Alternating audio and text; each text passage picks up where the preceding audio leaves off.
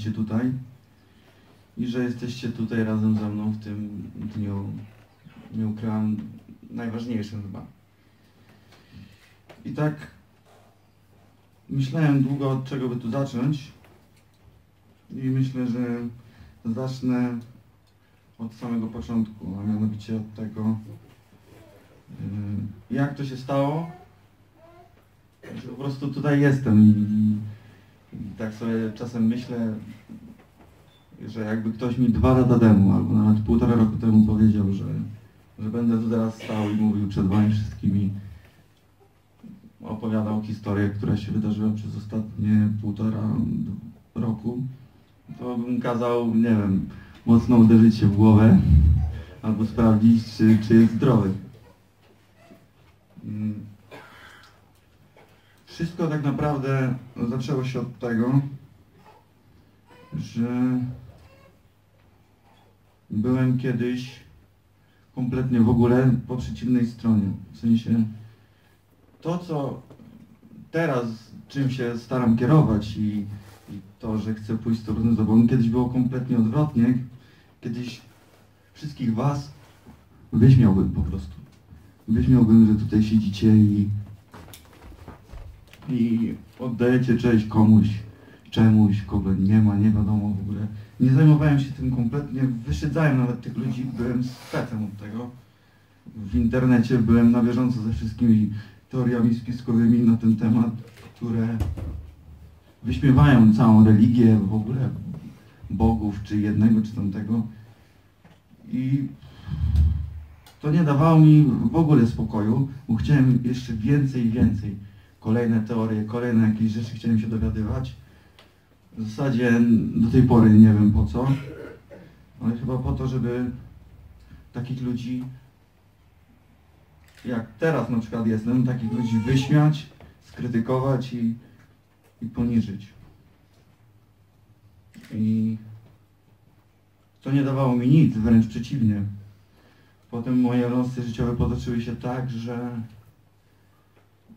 spadłem bardzo, bardzo nisko, bo mm, bo myślałem tylko myślałem tylko o sobie. To mm, tak ogólnie mówiąc, a, a wiem, że była taka sytuacja, no wszystko niby pięknie, ładnie, zaczęte studia i w ogóle. No i ta taka beztroska, która mi to dotyczyła w, moim, w mojej przyszłości, ta beztroska spowodowała, że studiów nie skończyłem, wpadłem w różne nałogi, kłamałem, manipulowałem innymi ludźmi i uważałem to za coś nie złego, tylko raczej taką mm, takie czynności, może bym tak to nazwał, które były mi potrzebne do tego, żeby spełniać swoje zachcianki, no nie? Albo żeby nikt mi nie mógł nic zarzucić. Tak, żeby po prostu mi było najlepiej i myślałem, że wszystko co robię, robię dla siebie i to będzie wszystko najlepsze. Mm.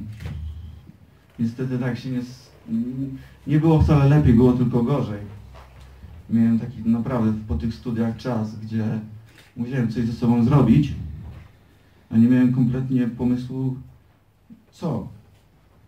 I po czasie mm, pojawił się mm, taki pierwszy, pierwsza oznaka powrotu może do, do życia, czyli wyjazd za granicę do Holandii. Mm, Udało się to dzięki mojemu kuzynowi między innymi, który mnie tam, mnie tam zabrał. I pojechałem tam, zacznę trochę od tyłu, pojechałem tam dla pieniędzy i po pieniądze, a koniec końców wyjechałem stamtąd znając Boga i z tych pieniędzy rezygnując. I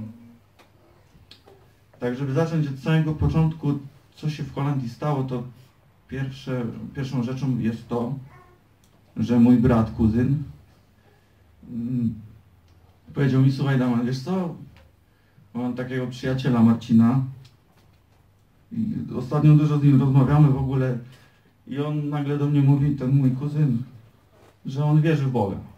Nie wie jak, nie wie czemu, ale został do tego przekonany. I choć wcześniej pamiętam nasze rozmowy, kiedy zaprzeczaliśmy temu wszystkiemu, to teraz on mi wyjeżdża z takim tekstem. Słuchaj, ja wierzę, nie wiem czemu, nie wiem jeszcze co to wszystko ma znaczyć, ale, ale Bóg stworzył mnie, Ciebie, ziemię i tak dalej, a nie, że jesteśmy jacyś z bakterii robotami biologicznymi, którzy tam sobie żyją i egzystują. Ja byłem trochę w szoku, pamiętając nasze poprzednie rozmowy i stwierdziłem, no dobra, ale na jakiej podstawie to twierdzisz? Czemu tak? No był, był taki potem moment, gdzie oni pojechali na urlop do Polski, ja zostałem pierwszy weekend sam w Holandii, nie miałem internetu i nie miałem zostawionego laptopa, żeby tam oglądać sobie jakieś filmy, żeby się po prostu nie nudzić. I tam trafiłem na taki film, no czyli no właśnie jestem w sumie kolejną osobą, którą znam, która jakby dowiedziała się o Bogu z internetu. Tak ten świat teraz jest, że nawet w internecie jak chcemy możemy Boga poznawać, a nie tylko oglądać jakieś pierdoły, które nam czas zajmują, tak jak mi zajmowały zawsze. I tam był film pewnego człowieka, Antona, nazywała się to Anioł ludzkiej ewolucji. To był film, który był przez adwentystę stworzony. I ten film, pierwsze co mi pokazał to to, że nie ma żadnej ewolucji, ani nie ma żadnego wszechświata, który sam z niczego sobie powstał, wy, wybuchło coś z niczego i, i tak żyjemy. Zacząłem się nad tym zastanawiać, bo skoro tak jest, znaczy skoro tak nie jest, to znaczy, że jakiś mamy cel, no nie? Każdy z nas, jak tu siedzimy, ma jakiś cel, po, po coś tu jest, no nie? Tak jak na przykład kosz, kosz na śmieci. Po co jest kosz na śmieci? No po to, żeby do niego wyrzucać śmieci, po prostu. Kosz na śmieci, no, mówię o takich błahostkach dlatego, że skoro wszystko na tym świecie stworzone przez człowieka jest po coś, to o ile my stworzeni przez Boga mamy jakiś cel. I, i chciałem tak, mm, pierwszy tekst jaki chciałem przeczytać, w co było początkiem w to, że, że się zaangażowałem w relację z Bogiem, to jest po prostu początek sam Biblii. A mianowicie na początku Bóg stworzył niebo i ziemię. I takie proste, a, a to był taki fundament do tego, żebym dalej poznawał Jego, jego nauki i, i po prostu poprawiał z Nim swoją relację. I tak było, że jakoś nie umiem sobie teraz do końca tego wyobrazić, jak to się stało, że moje serce, które było wcześniej tak, mój umysł, moje ciało, tak w ogóle przeciwne temu, o czym teraz tutaj mówię, że to jest ewidentny też, ewidentnie moc, moc Ducha Świętego, moc Boża, która otworzyła mnie na inny sposób myślenia i zacząłem zgłębiać tą wiedzę, szukałem kolejnych informacji na ten temat, że w Holandii miałem taki żywot, praca, dom, praca, dom, żadnych innych rzeczy y, właściwie się nie robiło. Z nudów popadłem tam wiele nałogów, straciłem mnóstwo też pieniędzy. I na początku myślałem, że tak mogę sobie iść, a trochę tu, trochę tu, bo tak jeszcze nie, mo nie mogę ze wszystkich, ze wszystkich rzeczy zrezygnować. Taka walka wtedy się zaczęła w moim życiu, właściwie z samym sobą. Tak jak, um, zresztą Pismo Święte o tym nieraz mówi, um, tak ja zrozumiałem, co muszę zrobić w tej Holandii jeszcze jak byłem, to zaprzeć się samego siebie. Tak jak czytamy w Ewangelii Marka właśnie w ósmym rozdziale, że musimy się zaprzeć samych siebie, to znaczy pozbyć się tych wszystkich przyzwyczajeń, które teraz dopiero po czasie zrozumiałem, jak bardzo zabierały zabierały mi czas, zabierały moje chęci do życia, moją motywację mm, i po prostu nie osiągałem, nie osiągałem swoich, swoich celów. I I potem pojawił się jeszcze jedna ważna osoba w moim życiu, której miałem przyjemność też być pierwszy raz na chrzcie, to był Marcin. I Marcin był taką osobą w Holandii, którą poznałem, która zaczęła mi o, o tym całej idei chrześcijańskiej tak na nowo przekazywać, bo ja kiedyś mm, byłem, no, znaczy katolikiem byłem, ale takim katolikiem po prostu, bo trzeba było dziecko ochrzcić, prawda, no bo bierzmowanie, komunia, wszyscy to wszyscy, no nie. Ja w ogóle nie, nie byłem z tym, nie interesowałem się tym. Po prostu trzeba było wziąć bierzmowanie, żeby potem się ożenić, no to człowiek y, robił te wszystkie rzeczy. I Marcin, jak już zaskoczyła ta pierwsza zębatka, czyli aha, no dobra, nie jestem bakterią, nie jestem z bakterii, Bóg nie stworzył, no to skoro Bóg nie stworzył, to gdzie, to co ja z tym mogę zrobić dalej? Co mam dalej z tym robić, skoro już wiem, że aha, dobra, no to Bóg nie stworzył, stworzył świat, to co, co mam dalej z tym robić? I Marcin był taką pierwszą osobą, która, ja mnóstwo jej pytań zadawałem, o życie wieczne, a co z grzechem, a co z tym diabłem? Mnóstwo, mnóstwo pytań, taki byłem zafascynowany tym wszystkim, bo to było coś nowego dla mnie. I, i, po, chciałem poświęcić temu wtedy sporo czasu, jednocześnie dalej, no raczej nie pokutując, żyjąc jeszcze w wielu, wielu grzechach i upadkach. Ale już miałem ten taki punkt zaczepienia i fajnie, że wtedy miałem właśnie możliwość porozmawiać często z Marcinem, no i on mnie tak zafascynował tematem Boga, Jezusa, Jego śmierci za nas, za nasze grzechy, że oprócz to po prostu był taki łańcuch. Skoro jestem tutaj dzięki Bogu, skoro żyję tu dzięki Bogu i w ogóle wszystko co tu jest, jest nie dzieje się bez Jego woli, no to w takim razie ktoś musi mówić prawdę, no nie?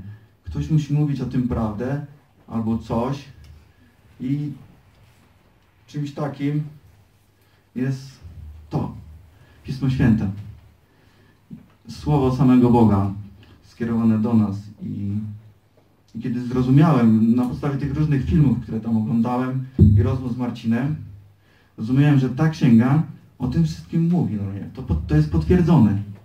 No i teraz oczywiście szukałem różnych y, argumentów, żeby to jakoś skontrować, żeby kontrować tą Biblię, więc szukałem jakichś sprzeczności, albo skąd ona się wzięła, czy ona jest w ogóle prawdziwa, może to są jakieś mity, bajki, w ogóle legendy, żeby, żeby manipulować światem, tak jak to kiedyś myślałem. Straszne. I, I tak sprawdzałem, rozdział po rozdziale, różne teorie sprawdzałem i wszystko się sprawdzało, sprawdzi, sprawdziło. Tak samo jak dzisiaj jak sobotnie mówiliśmy o proroctwie Daniela z drugiego rozdziału. I historycznie rzecz ujmując, sprawdzałem to wielokrotnie i naprawdę tak, no to pasuje po prostu, to wszystko pasuje. I w momencie, kiedy wszystko zaczęło mi pasować, to zacząłem patrzeć bardziej na siebie krytycznie i skoro Bóg nas stworzył, skoro mamy Biblię i przekazał tutaj swoje prawa, swoje te, to jeszcze wypadałoby, żeby z nimi się zapoznać i ich przestrzegać, prawda? Przykazań Bożych i tego, co, co Bóg od nas oczekuje. I, I bardzo się, z perspektywy czasu, bardzo się cieszę, że tak to wygląda, chociaż niektóre sprawy dopiero zrozumiałem całkiem niedawno. W ogóle miałem taką sytuację, jeszcze nawiążę, yy, właśnie kiedy byłem w Holandii i właśnie jedno z rozmów, jak Marcin przyjechał z Indii. No kolejny taki, kolejna taka rzecz w moim, w moim życiu to właśnie, y, to właśnie wyjazd do Indii. Z tymi Indiami było tak, że po prostu pewnego razu Marcin przyjechał w, tą, tym, w poprzednim wyjeździe do Holandii z Indii i zaczął opowiadać, jak to tam fajnie w ogóle że tam zaprzyjaźnił się z Bogiem, porodził jego relacje, naładował duchowe baterie, jak to można tak parafrazując. Ja, że nigdy wcześniej, no nie licząc tej Holandii, nigdzie za granicą nie byłem. Ani nic takiego nie zwiedziłem, a była taka okazja. A jeszcze byłem tak tym wszystkim, tak na świeżo zafascynowany, postanowiłem, a co mi tam jadę. Zostawiam to wszystko tam, zostawiam tą pracę, będzie co ma być, ale coś czułem, że muszę tam, muszę tam pojechać. Naprawdę nie wiem jak to mam opisać, ale czułem taką potrzebę tam, tam pojechania, po, że postanowiłem, postanowiłem tam pojechać i pamiętam musiałem właśnie zrezygnować z pracy, bo nie miałem dokumentów, terminy, terminy wizowe i wyloty się zbliżały i, trzeba, i trzeba było coś zrobić. Więc zostawiłem całą pracę w Holandii, wziąłem wszystkie swoje graty i wróciłem do Polski wyrabiać te dokumenty. I była taka, może drobna, niedrobna sytuacja, ale która zrozumiała, pokazała mi, że podejmuję dobrą decyzję. A mianowicie była taka drobnostka, może nie drobnostka, że jechałem sobie ze Staszowa, z miejsca, którego pochodzę, do Kielc busem. Jadę sobie, jadę już po powrocie z Holandii, żeby załatwić te papiery. Wszystkie no, dokumenty, pieniądze, wszystko co miałem przy sobie. Ja jestem trochę czasem taki niezdawny. Taki czasem zapominam wiele, wiele różnych rzeczy. I tam też właśnie ten portfel z całymi swoimi dokumentami, ze wszystkimi pieniędzmi, które miałem na wyjazd do Holandii, zostawiłem w tym busie. Bus odjechał, ja wysiadłem na przystanku, bus odjechał. Ja po kieszeniach. Nie ma, no nie. Zostawiłem w tym busie, nie zdara znowu. No i lecę tam za tym busem. Czekam na jakiś autobus miejski i jadę tym miejskim za tym busem. Biegnę, biegnę, biegnę, biegnę. I tak tylko się... Wtedy tak, pamiętam, modliłem się wtedy do Boga. Panie, nie wiem jak, jak to zrobisz, ale wierzę, że nie, skoro mam jechać do tych Indii i Ty chcesz, żebym tam jechał, to na pewno pomożesz mi i odzyskam ten portfel na 100%. I tak przez całą drogę tam do tego, do tego zajazdu busów się modliłem, modliłem. I w ogóle to pierwsza sytuacja, bo dwie były takie same i za każdym razem Bóg mnie wyratował. No nie? Także mogę gubić rzeczy, jak Bóg chce, to je potem znajdę. I była taka sytuacja, że w ostatniej chwili, za pierwszym razem dogoniłem tego busa, bo on już miał zawracać z powrotem na Staszów z tych Kielc. W ostatniej chwili tego busa złapałem i ten portfel leżał tam, gdzie go zostawiłem. Nawet złotówka nie zginęła. Także byłem w szoku, a za drugim razem była podobna sytuacja, ten, ten sam przystanek, ta sama sytuacja, wysiadam i znowu to samo, tylko teraz nie miałem takiego szczęścia, że od razu miałem miejski za tym busem i musiałem chwilę poczekać. I tak, kurczę, co ja zrobię, no nie? I tak lecę tam, lecę. Niestety bus już pojechał. Nie zdążyłem tym razem. Modliłem się tak samo. Tym razem, no nie, Boże, czemu znowu? Ratuj mnie jeszcze raz, no nie. Ratuj mnie z tej mojej głupoty. I już tak nie zdążyłem. Aha, no to co ja teraz, Panie Boże, zrobię? I taki wracałem zniechęcony, już nawet mi się nie śpieszyło. Wracałem do domu i poprosiłem siostrę, żeby zadzwoniła na, na, na infolinię do tego przewoźnika. Okazało się, że nie musiałem, bo w drodze powrotnej cały czas jeszcze mając nadzieję, że Bóg mnie jakoś z tej sytuacji wyratuje, no bo w końcu myślałem, że chcę, żebym do tych Indii pojechał, a jakbym zgubił wszystkie oszczędności, to mogło być różnie. I tak zrezygnowany, łzy już miałem w oczach, kurczę, wszystko straciłem z taką głupotę. I tak sobie myślałem, bo wracałem tym drugim razem z koleżanką. Roz, przegadaliśmy całą drogę. I ja tak prosiłem, żeby ona miała ten portfel. Nie wiem jak, ale zrób tak, żeby ona ten portfel miała. I wróciłem do domu. Pierwsze co, to opowiedziałem siostrze, żeby zadzwoniła, nie odbierali. I siadłem, siadłem za laptopa, otworzyłem Facebooka.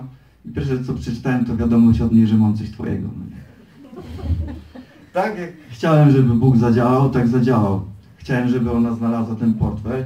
Znalazła. Powiedziała mi potem, że jakiś obcy gość z busa, który siedział za nami, dał jej ten portfel, bo zauważył, że to jest jakaś moja znajoma i czy, czy nie oddała mi portfela. Także zrozumiałem, taka niby drobnostka, nie drobnostka, w zależności z której strony na to patrzeć. Zrozumiałem, że, że muszę tam jechać i bardzo dobrze, że to się stało bo tam tak naprawdę zobaczyłem pierwszy raz, czym jest Kościół Adwentystów Dnia Siódmego. Właśnie w Indiach, nie w Polsce, nie gdzieś tutaj, tylko, tylko tam. Oczywiście wcześniej byłem jeszcze, miałem, tak jak mówiłem wcześniej, przyjemność być na chrzcie Marcina, tego właśnie samego Marcina, co zawdzięczam mu wiele i, i on, i on, zresztą on o tym wie. I i byłem na jego chrzcie, pierwszy raz studiowaliśmy Biblię i to było wszystko dla mnie takie wow, takie nowe i no i w ogóle, w ogóle wszyscy jesteście tacy kochani. Mm, nie, aż nie wiem co mam, co mam powiedzieć w tej kwestii jeszcze. W każdym razie trafiłem do Indii i w Indiach to już tutaj podkreślałem jakiś czas temu i zresztą pewnie jeszcze raz będę podkreślał, nie, nie raz będę podkreślał, że pierwsze co, co się tam nauczyłem, to, to spokorniałem. Znaczy później miałem różne tam jeszcze upadki swoje, ale tam był taki moment, gdzie tak naprawdę prawdziwie spokorniałem i zacząłem doceniać to, co mam tutaj, no nie. Możemy narzekać na nasz kraj, że jest tak, że tacy politycy, że coś. A wiem co mówię, bo kiedyś, kiedyś, kiedyś mocno byłem zaangażowany politycznie w Polsce i, i, i znam się, znałem się wtedy na rzeczy, ale coraz mniejsze, przy poznawaniu Boga coraz mniejsze ma to dla mnie znaczenie, bo najważniejsze teraz jest po prostu trwać i czekać, czekać na, na Jego powrót, a On będzie niebawem. I kolejna sprawa to to, że nie byłem w ogóle przekonany przed wyjazdem do jakby do kościelnych takich organizacji, w ogóle odrzucało mnie to. Pewnie, a Kościół Adwentystów Dniowego, a po co mi w ogóle jakiś kościół, po co mi w ogóle jakiś zbór? Mogę być sam dla siebie chrześcijaninem.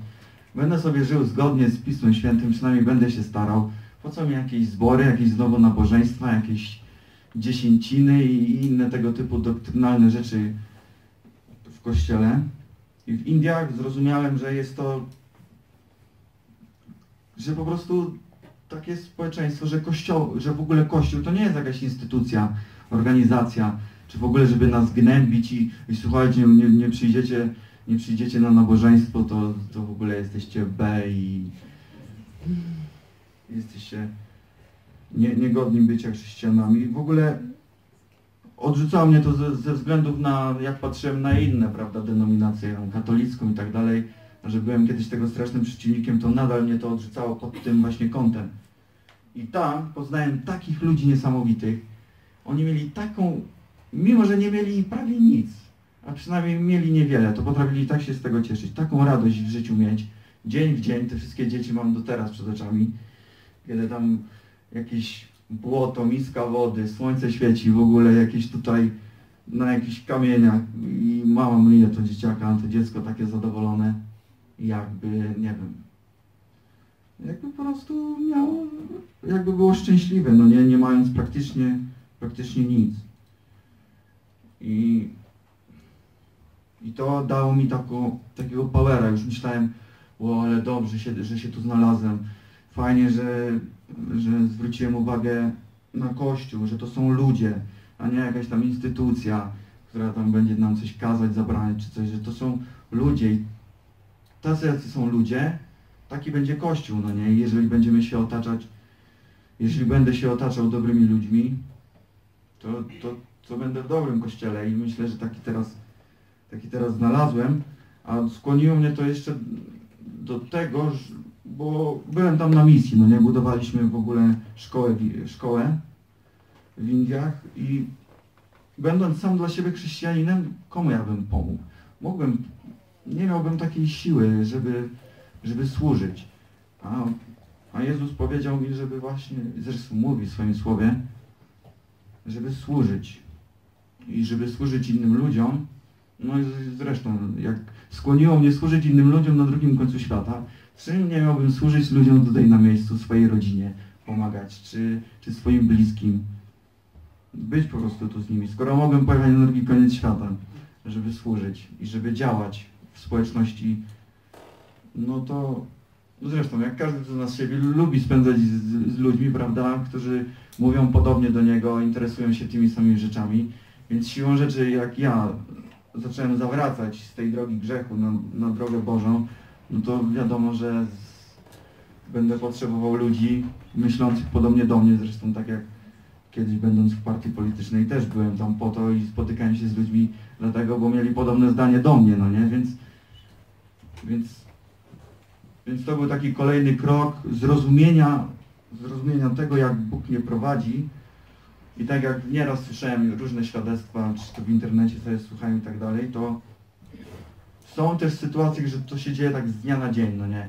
Jakiś wypadek, ktoś umiera i wiesz, ta osoba dostaje takiego przysłowiowego kopniaka i wszystko zaczyna się odwracać się o 180 stopni.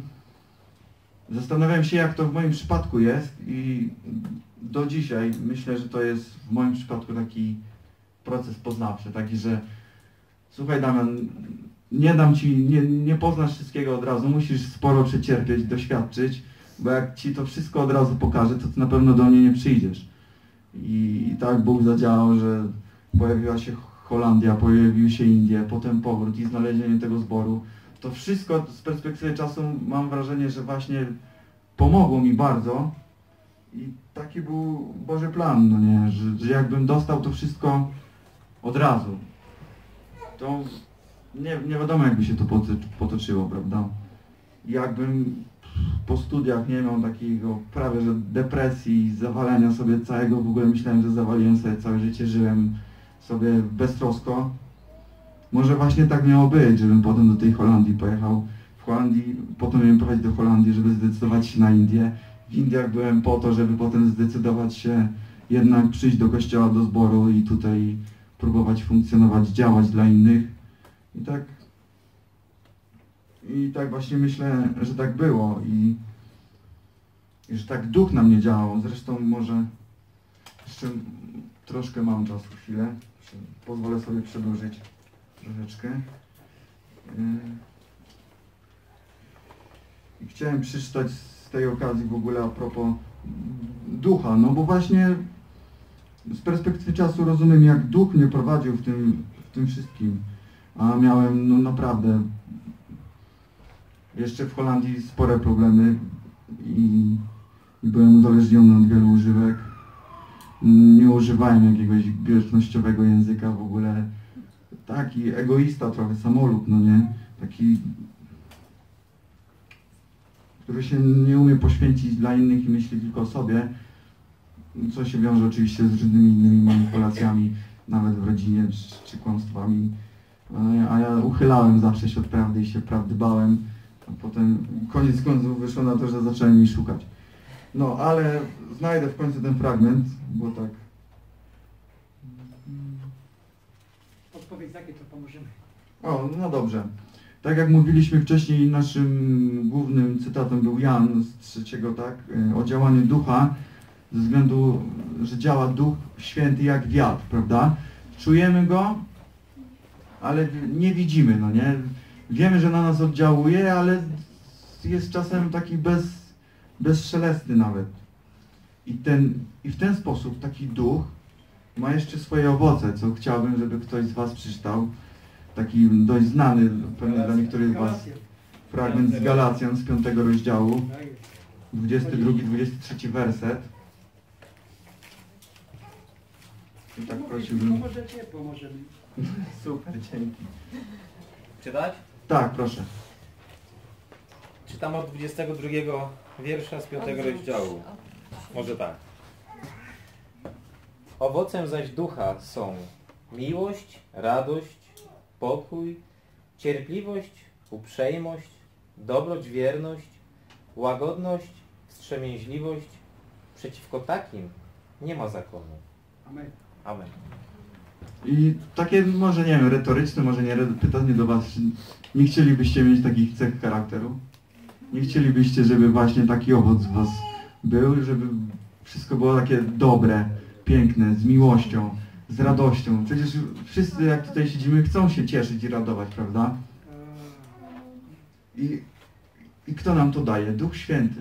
Duch Święty nam właśnie daje to, jeżeli będziemy się słuchać tego głosu, a a takim na przykład, a takim głosem jest nasze sumienie. Często na pewno wielu z Was miało tak w różnych takich sytuacjach dość ciężkich, że nie, może nie powinienem tego robić, nie, albo to za szybko, nie, nie powinienem tego mówić, tego kraść i tak dalej, i tak dalej.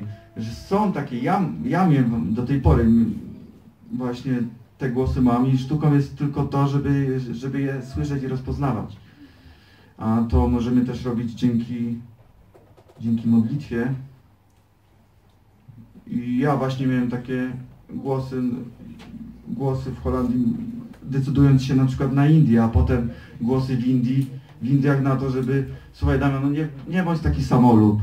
Podziel się tą miłością z innymi, no nie. Znajdź jakiś, znajdź ludzi, którzy myślą podobnie do ciebie, razem możecie dużo więcej zdziałać, prawda? I, i tak się tutaj znalazłem. I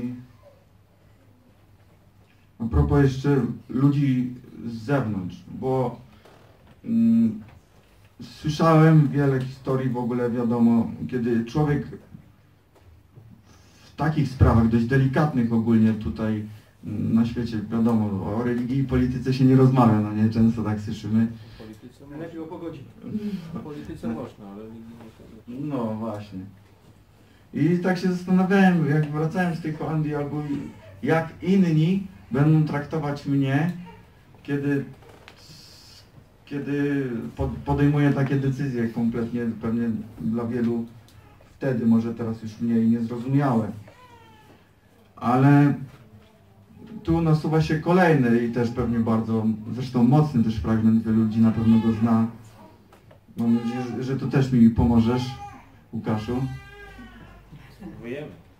E, A mianowicie Mateusz 10 rozdział, 37 do 39 wer werset. Te słowa są mocne, ale te słowa pokazały mi, Czytamy. że, że nie ma nic ważniejszego i że choćby wszyscy się mieli sprzeciwić, to ja nie ugnę się, po prostu nie mogę tego zrobić, bo, bo to jest Jezus Chrystus, który umarł za moje grzechy i jak za każdym sobie razem o tym myślę, kiedy upadam i taki brudny w swoich grzechach miałbym przyjść do Niego i próbować się do Niego przytulić, kiedy On niebawem do mnie przyjdzie, to, to przypomina mi, że, że, że nie mogę wracać do tego, co było, a tu jeszcze nawiążę do już ostatnich chwil, do tego, kiedy wróciłem z Indii. Byłem zbyt pewny siebie, ta pokora jakby cała już miała ulatywać, może zamieniła się, znaczy pokora to może była względem takich rzeczy materialnych, ale zbyt miałem taką pewność siebie, nie wiem, tam już tak podładowałem baterię, jestem już tak blisko z Bogiem, że nic mi się już nie może stać. I wróciłem z Indii i przez pewien okres naprawdę czułem taką, nie wiem, taką chęć do czynienia tego wszystkiego, co, co Bóg przykazuje, żeby, żeby robić. A chyba przez ten cały okres mojego nawrócenia tak często nie upadałem, jak właśnie po powrocie z Indii.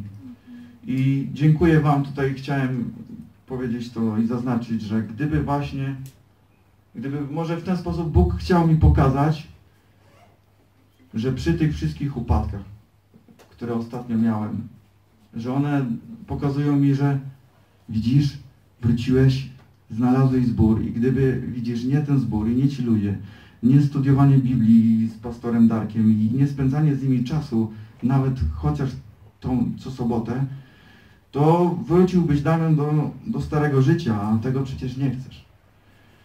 I tak właśnie zrozumiałem dopiero zawsze po jakimś czasie, ale poprzednie decyzje i stany, w których jestem, powodują, że Bóg cały czas mnie uczy i kształtuje mój charakter, żeby, żebym był dla Niego Jego, żebym był dla Niego po prostu jak naj, najlepszym, najlepszym. Jak dla Niego po prostu takim prawdziwym, kochającym Go, go synem, tak jak mam nadzieję jestem dla mojego taty. No i chciałbym tutaj, żebyś czytał ten fragment. Yy, Mateusz 10, 37, 39.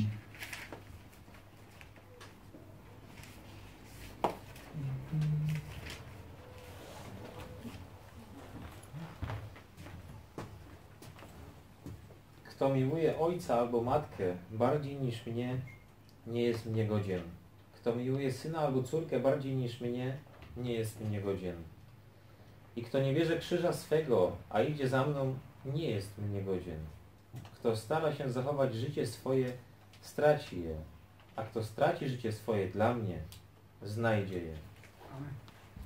Ja jeszcze pozwolę sobie doczytać 40. Proszę Cię. Kto was przyjmuje, mnie przyjmuje, a kto mnie przyjmuje, przyjmuje tego, który mnie posłał. Amen. Amen. No, no trochę już sobie zawaszczyłem czasu, za dużo, to tak na koniec już. No może to nie są jakieś, wiadomo, spektakularne doświadczenia, jeszcze nie zostałem uzdrowiony może ani nic takiego, ale dla mnie osobiście to, że tu teraz stoję, to nawet nie wiecie jakie to jest, to jest przeżycie, że w ogóle, co ja tu w ogóle robię czasami, jeszcze do niedawna takie nie dowierzałem, no nie, nie dowierzałem, że że tak Bóg pokierował moim życiem, że jestem tutaj teraz i mogę przed Wami podzielić się i wychwalić, wychwalić Boga za to, co uczynił w moim życiu, bo On naprawdę, On działa zawsze. On nawet w tym momencie działa na zewnątrz, nawet na drugim końcu w Indiach działa w tym samym czasie, co teraz. I co mi jedyne zostanie, to, to teraz właśnie zdecydować się i zamanifestować to, że chcę za nim iść i właśnie po to tu teraz jestem i chcę wziąć ten chrzest, żeby zamanifestować swoją już wcześniej podjętą decyzję, ale poprzez te wszystkie próby, które na mnie przyszły, potwierdzić i dać świadectwo o tym, że On jest, że On żyje, że nas kocha i działa w naszym życiu. Dzięki. Amen. Amen.